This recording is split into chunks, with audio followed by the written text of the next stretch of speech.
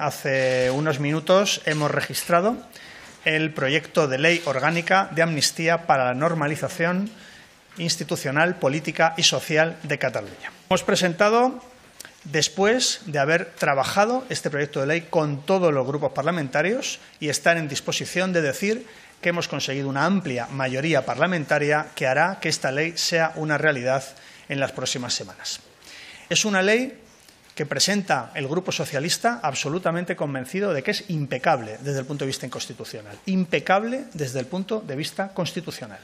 que además es un paso de gigante para la convivencia y para el reencuentro en Cataluña